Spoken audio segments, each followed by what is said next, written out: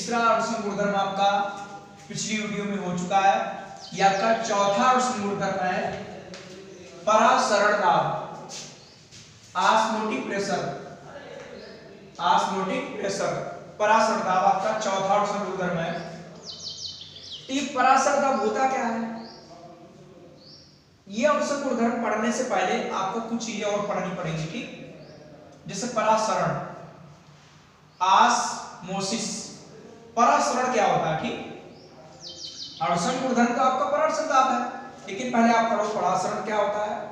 झिल्लियाँ क्या होती है? अर्धपारगम झिल्ली क्या होती है? परासरण क्रिया क्या होती है? विसरण क्रिया क्या होती है? और फिर पढ़ेंगे आप लोग परासरण दाब। क्योंकि ऐसे आपको परासरण दाब परिभाषा नहीं क्लियर होगी, जब तक आप ये प्रक्रिया नहीं पढ़ोगे। तो परासरण आप लोग पहले पढ़ेंगे। कि वह क्रिया जिसमें विलायक के अणु वह क्रिया, पहले समझ लीजिए लिखोगे नहीं। वह क्रिया जिसमें विलायक के अणु कम सांद्रता वाले विलयन से, अधिक सांद्रता वाले विलयन की ओर, अर्ध पारगम्य झिल्ली में से, अर्ध पारगम्य झिल्ली में से स्वतः प्रवाहित होते हैं। कम सांद्रता वाले विलयन से अधिक सांद्रता वाले विलयन की ओर। अर्ध पारगम्य झिल्ली में से स्वतः प्रवाहित होते हैं तो उसे कहते हैं क्या हम? वो क्रिया कहलाती परासरण तो आपको मालूम है कि अर्ध पारगम झिल्ली क्या होती है? ठीक है? तो इसलिए चीज़ें पहले पढ़ लीजिए, बाद में परासरण पढ़ोगे, फिर परासरण दाब तो सबसे पहले इसके बाद जो आप लोग पढ़ेंगे इसमें, वो पढ़ेंगे झिल्लियाँ। कि झिल्लियाँ क्या होती है? किसी ठोस या द्रव की बहुत पतली परत कहलाती झिल्ली। ठीक है? आप लोग झिल्ली पढ़ेंगे। चौथा टॉपिक है आपका। उसके बाद आपको झिल्लियाँ पढ़नी पड़ेंगी, फिर परासरण पढ़ोगे, ठीक? कि ठोस, किसी ठोस या द्रव की बहुत पतली परत कहलाती झिल्ली। और झिल्लियाँ तीन प्रकार की होती है। एक पार गम झिल्ली पारगम झिल्ली ये क्या होती है? कि वे झिल्लियाँ वे झिल्लियाँ जिनसे विलियन के सभी प्रकार के कण या अणु दूसरी ओर निकल जाते हैं, ठीक? उन्हें बोलते हैं पारगम झिल्ली। जैसे आपकी छन्नी समझ ली छन्नी। ठीक है? कि वह झिल्ली जिसमें से विलियन के सभी प्रकार के कण या अणु दूसरी ओर निकल जाते हैं, ठीक? उसे बोलते हैं पारगम झिल्ली। फिर आता है अपार गम झिल्ली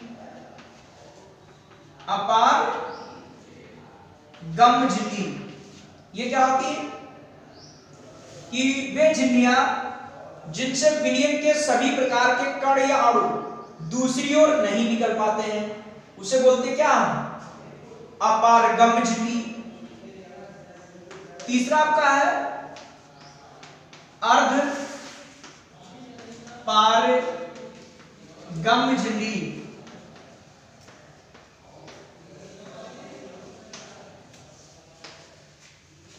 अर्ध पारगम झिल्ली ये क्या होती है? वह झिल्ली या वे झिल्लियाँ जिनसे केवल विलायक के, जिससे केवल विलायक के कण या अणु निकल जाते हैं, परंतु विलय के कण या अणु नहीं निकलते, अर्ध पारगम झिल्ली कहलाती है, ठीक? यही आपको काम भी पराशरण क्रिया में। ठीक है? कि वे झिल्लियाँ जिनसे होकर केवल विलायक के कण या अणु तो दूसरी ओर निकल जाते हैं, परंतु विलय के अणु नहीं निकलते, उन्हें बोलते हैं अर्ध पारगम झिल्लियाँ। ठीक है? कौन झिल्लियाँ? अर्ध पारगम झिल्लियाँ। तो इसमें क्या होता है? ये दो टाइप की होती है, एक प्राप्तिक और एक कृत्रिम प्राप्तिक कौन सी? तो इसमें एग्ज़ाम्पल जैसे अंगूर की झिल्ली किशमिश की झिल्ली, अंडे की झिल्ली, आपकी ये सभी प्राकृतिक अर्धपारगम झिल्लियाँ हैं। और कृत्रिम क्या होती है? जो कृत्रिम विधियों द्वारा बनाई जाती है। जैसे copper ferrocyanide. Copper ferrocyanide. CO2 Fe, Cl का फोर सिक्स ये कापर फेरोसाइनाइड की अर्धपारगम झिल्ली कृत्रिम अर्धपारगम झिल्ली है। और ये सबसे अच्छी झिल्ली होती है, ठीक? जो कृत्रिम होती वो। समझो भैया? तो अर्धपारगम झिल्ली क्या होती है?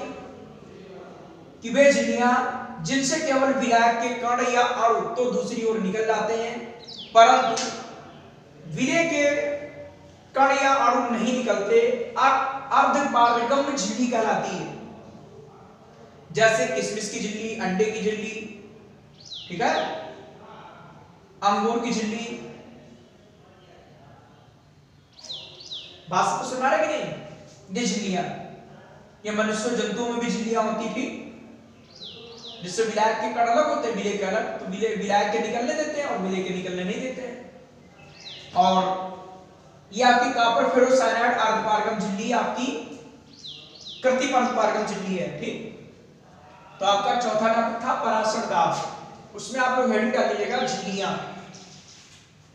हेडिंग डालेंगे झिल्लियाँ।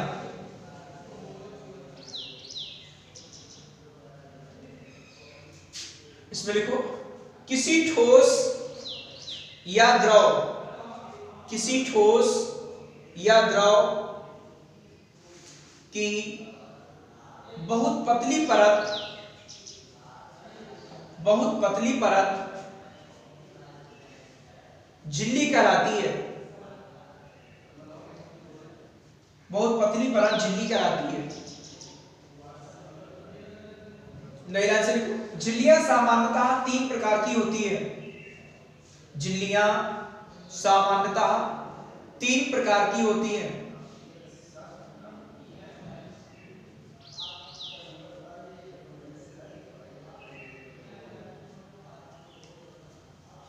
Number A.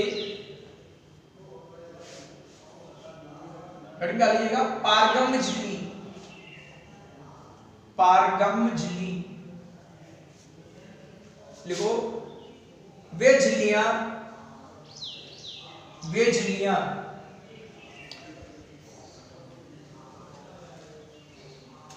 जिनसे होकर विलियन के सभी प्रकार के कण या अणु जिनसे होकर विलियन के सभी प्रकार के कण या अणु दूसरी ओर निकल जाते हैं।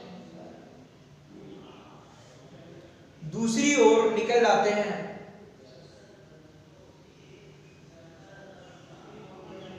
पारगम झिल्ली कहलाती है। पार गम झिल्ली कहलाती है।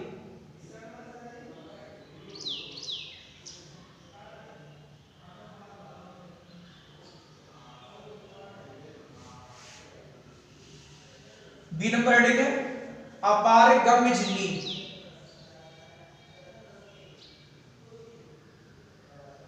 अपारगम झिल्ली। वे झिल्लियाँ। वे झिल्लियाँ। जिनसे होकर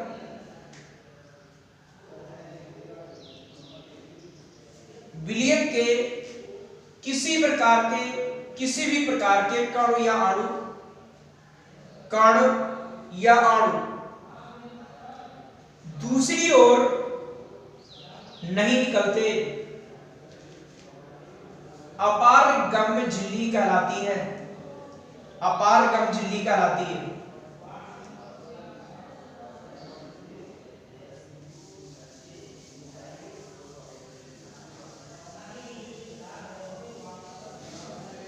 हेडिंग डालेंगे सी अर्ध पारगम झिल्ली।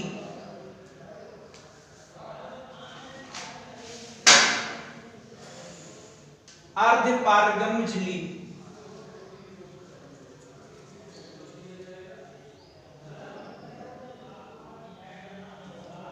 वे झिल्लियाँ वे झिल्लियाँ जिनसे होकर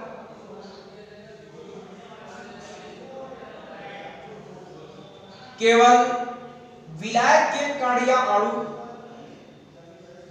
दूसरी ओर निकलते हैं।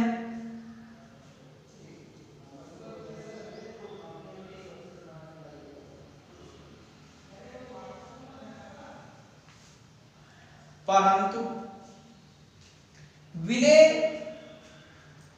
परंतु विलय के कण या अणु नहीं निकलते। अर्ध पारगम झिल्ली कहलाती है।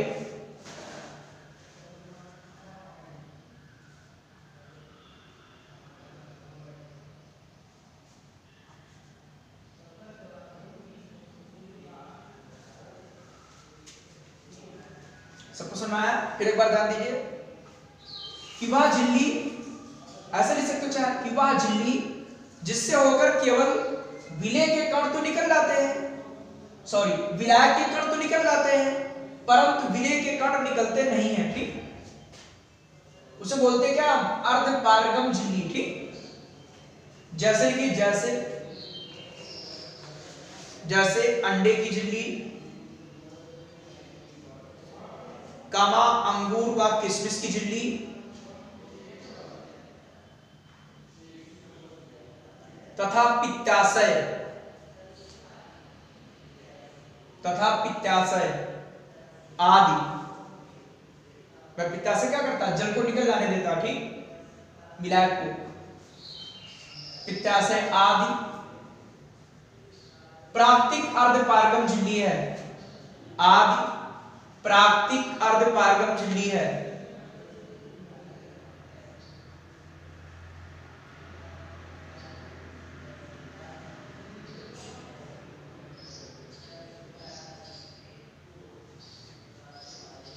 कापर फेरोसाइनाइड उसी के आगे लिख लीजिए नई लाइन से फेरोसाइनाइड Cu2FeCN का और 6 copper ferrocyanide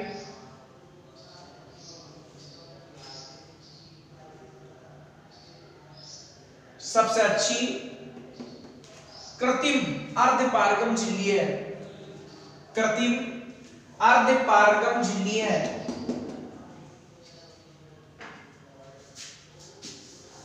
copper ferrocyanide Cu2FeCN का और 6 सबसे अच्छी कृत्रिम अर्धपारगम झिल्ली है। कृत्रिम झिल्लियाँ क्या होती? है कृत्रिम अर्धपारगम झिल्ली जो कृत्रिम विधियों द्वारा बनाई जाएगी।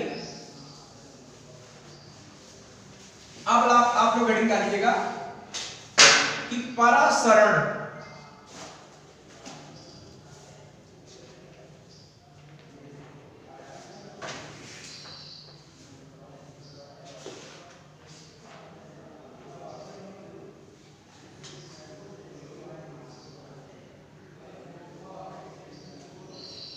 परासरण डाल ली देखो, इसमें क्या होता है? कि वह क्रिया, जिसमें विधायक के अणु। वह क्रिया, जिसमें विधायक के अणु। वह क्रिया, जिसमें विधायक के अणु। कम सांद्रता वाले विलयन से। कम सांद्रता वाले विलयन से।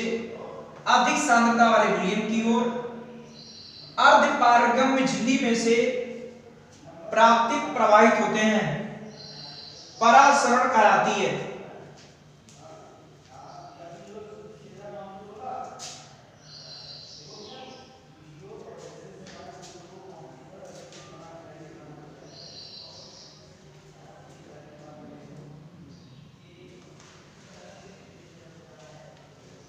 ठीक है? परासरण सुना कि नहीं? कि वह क्रिया जिसमें विलायक के अणु कम सांद्रता वाले विलयन से अधिक सांद्रता वाले विलयन की ओर अर्धपारगम झिल्ली में से प्राकृतिक प्रवाहित होते हैं। प्राकृतिक प्रवाहित होते हैं, ठीक? मतलब स्वयं प्राकृतिक प्रवाहित होते हैं। तो कहलाती है क्रिया क्या? परासरण क्रिया, ठीक? कि विलायक के अणुओं का कम सांद्रता वाले विलयन से अधिक सांद्रता वाले विलयन की ओर अर्ध पारगम झिल्ली में से प्राकृतिक प्रवाह को हम कहते हैं क्या? परासरण क्या कहते हैं? परासरण ठीक है? क्लियर अब इसे लिख लीजिएगा। इसे लिख लीजिएगा।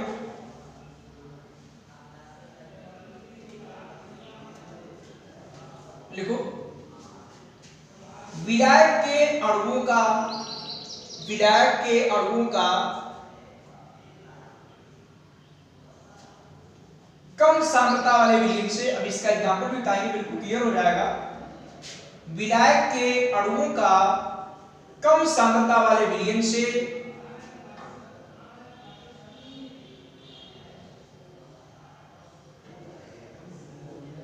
अधिक सांद्रता वाले विलयन की ओर,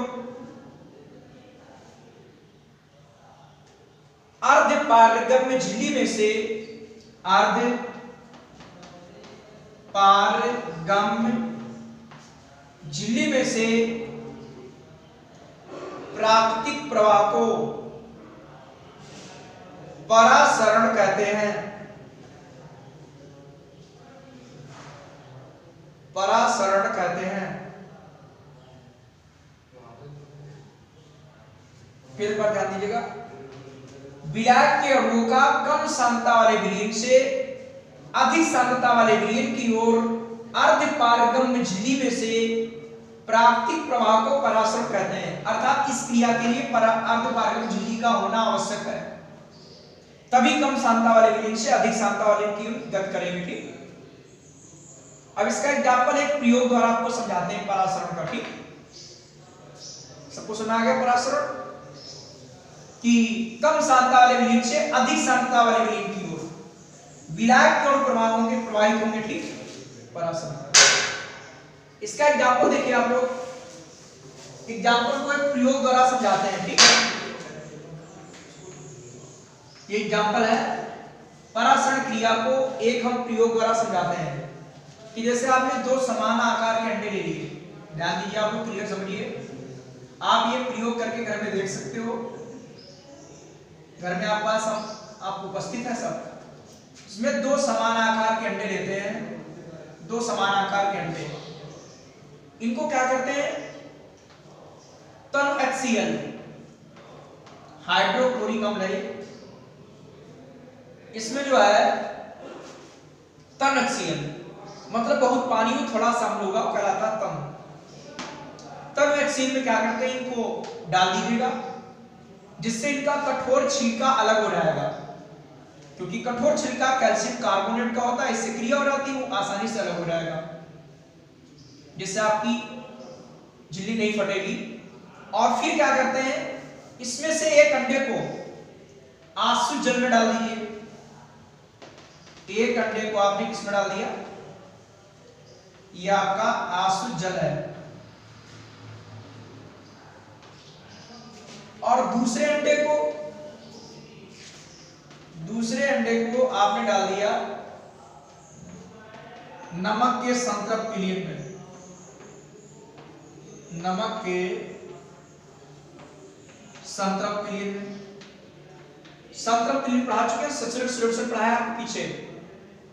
जब की ऑनलाइन क्लास स्टार्ट हुई तो उसमें पढ़ाया गया था संतृप्त विलयन कि वह विलयन जिसमें एक निश्चित ताप पर विलय की और अधिक मात्रा नहीं बोली जा सकती है।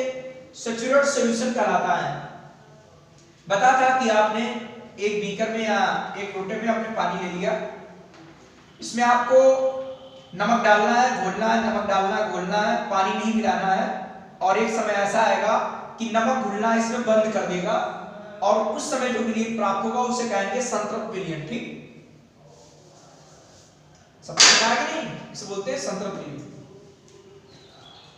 जो भी समझ नहीं आता, आप कमेंट्स बॉक्स में लिख कर भेजिए, वो दोबारा रिपीट कर देंगे तो उसमें क्या करते हैं? डाल देते हैं। कुछ समय पश्चात देखते हैं। आँसू जल में डाला गया अंडा फूल जाता है। और नमक के संतृप्त में डाला गया अंडा जो है, सिकुड़ जाता है। ठीक है? क्यों ऐसा होता है? पराशरण क्रिया द्वारा। क्यों? देखिए। भाई, अंडे के अंदर जो द्रव है, उसकी सांद्रता क्या है? अधिक है। उसकी जो कंसंट्रेटेड सांद्रता है उसकी, वो अधिक है। जो सांद्रता क्या? अधिक है। और जो हमारा जल है, इसकी सांद्रता क्या है? कम है। जल की सांद्रता क्या है? कम सांद्रता वाला है और पराशर क्रिया में होता क्या है? कि विलायक के कण क्या करेंगे? कम सांद्रता वाले विलीन से अधिक सांद्रता वाले विलीन की ओर अर्धपारगम झिल्ली में से प्रवाहित होंगे। तो जल क्या होगा? अंडे के अंदर प्रवेश कर जाएगा, इसीलिए अंडा फूल गया। सबको सुना है कि नहीं? और इसमें क्या है? ये आपका क्या है? नमक का संतृप्त विलयन नमक का संतृप्त विलयन इसकी सांद्रता क्या होगी? अधिक सांद्रता होगी इसकी। इसकी सांद्रता क्या होगी? अधिक। और जो अंडे के अंदर द्रव है, उसकी सांद्रता कम होगी। तो अंडे के अंदर से जो जल होगा, वो कहाँ जाएगा? नमक के संतृप्त में आ जाएगा। जिस कारण आपका अंडा सिकुड़ जाता है। सबको सुना रहा? ऐसा आप विश्लेषण कर सकते हो। तो क्रिया आपकी कहलाती क्या? पराशरण बताइए क्या कहलाती है? पराशरण कहलाती है, ठीक? बात सबको सुनाई नहीं? फिर ध्यान दीजिएगा कि पराशरण क्रिया को एक प्रयोग द्वारा समझा सकते हो। इसमें क्या होता है कि दो समान आकार के अंडे लेते हैं, उनको तनशील में डाल देते हैं। तनशील में डाल देंगे, उसके पश्चात क्या करते हैं कि इनको जो है, इनके कठोर छिलके को अलग कर देते हैं, क्योंकि इनका कठोर छिलका कैल्शियम कार्बोनेट का होता है। और ये क्रिया करेगा तो कठोर छिलके हमारा अलग हो जाएगा। अब एक अंडे को आपने आँसू जल में डाल दिया, दूसरे अंडे को आपने नमक के संतृप्त में डाल दिया। कुछ समय पश्चात देखेंगे कि आँसू जल में डाला गया अंडा फूल जाता है और नमक के संतृप्त में डाला अंडा सिकुड़ जाता है, ठीक? क्योंकि आँसू जल की सांद्रता कम है और अंडे के अंदर जो द्रव है उसकी सांद्रता अधिक है, इसलिए जो हमारा आँसू जल है, वो अंडे के अंदर प्रवेश कर जाता है और अंडा फूल जाता है। तीन पराशर क्रिया हुई नहीं। ऐसा इधर भी है कि नमक का जो संतृप्त विलीन है इसकी सांद्रता अधिक है और जो अंडे के अंदर द्रव है, उसकी सांद्रता कम होगी। इसीलिए जो जल के अणु है, वो नमक के संतृप्त विलीन में आ जाते हैं और अंडा आपका सिकुड़ जाता है, ठीक? तो लिखिए इसका एग्जांपल पराशरण क्रिया को एक प्रयोग द्वारा समझाया जा सकता है। पराशरण क्रिया को एक प्रयोग द्वारा समझाया जा सकता है।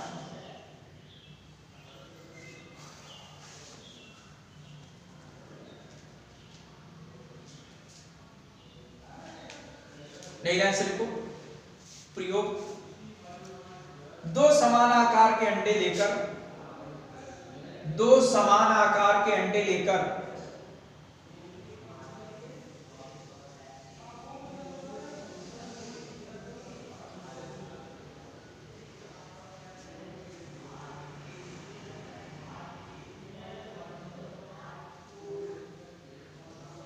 दो समान आकार के अंडे लेकर उनको तनिशील में डाल देते हैं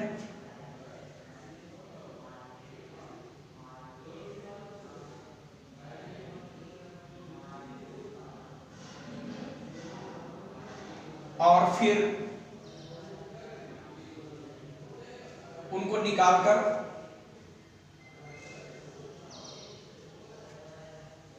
उनसे कठोर छिलके को सावधानी पूर्वक अलग कर देते हैं।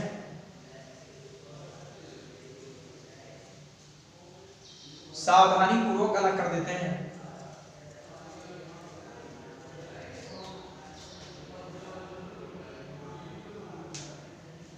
एक अंडे को आँसू जल में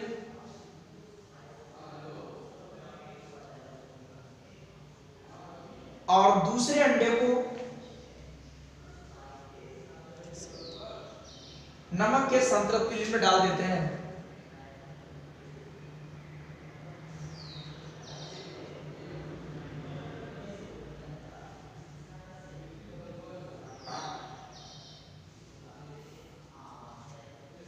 कुछ समय पश्चात देखते हैं कि, कुछ समय पश्चात देखते हैं कि,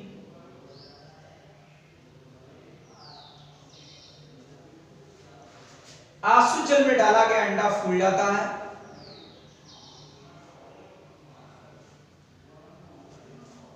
और नमक के संतृप्त विलयन में डाला गया अंडा सिकुड़ जाता है।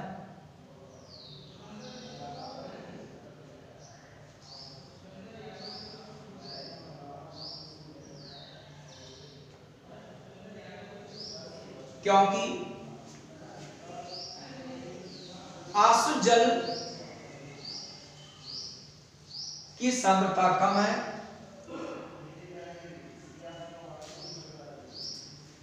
और अंडे के अंदर उपस्थित द्रव की सांद्रता अधिक है।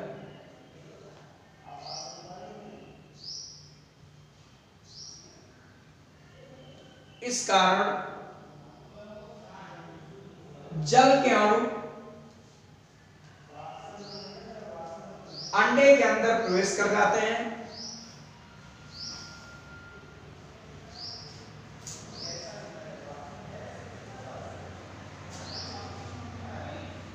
अंडा फूल जाता है।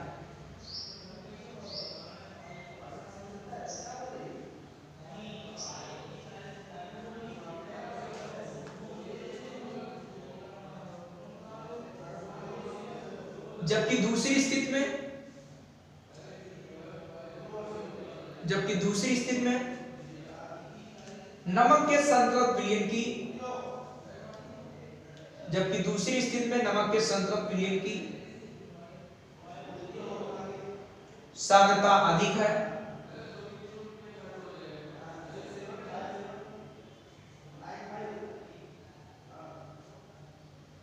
और अंडे के अंदर द्रव और अंडे के अंदर द्रव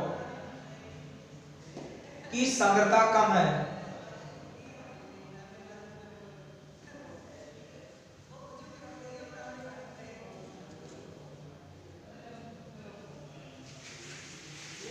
इस कारण जल के अणु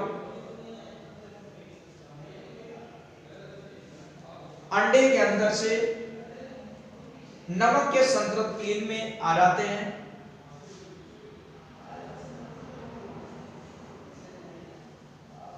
इस कारण जल के अणु अंडे के अंदर से नमक के संतृप्त क्लीन में आ जाते हैं और अंडा सिकुड़ जाता है। और अंडा सिकुड़ जाता है।